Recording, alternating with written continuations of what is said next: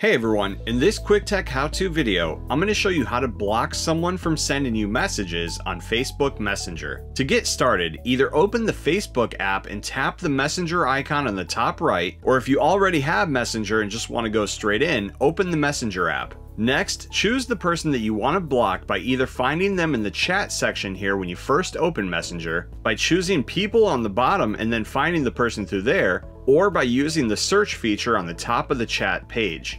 When you find the person that you want to block, choose their profile and then tap their name at the top. Scroll down to the bottom and tap block. Now you have a couple of options for blocking the person in here. The first option will block the person from sending you messages or calls, but you'll still see their posts and everything on Facebook. If you're both part of a shared group, you'll also get their notifications in there unless you leave that group. Choose block messages and calls and block again to confirm. If you would like to block the person on both Messenger and unfriend them from Facebook at the same time, choose the second option, block on Facebook. This will then open Facebook and take you straight to their profile. You can then tap the three dots on the right to take you to the manage page. In here, you can either unfriend them, or if you want to completely block them, block in here. This will unfriend the person and not allow them to contact you, invite you to groups or events, see any of your posts, tag, or add you as a friend. And that's how you block someone on Facebook and Facebook Messenger. Thanks for watching. Please like and subscribe and stay tuned for more quick tech how-to videos.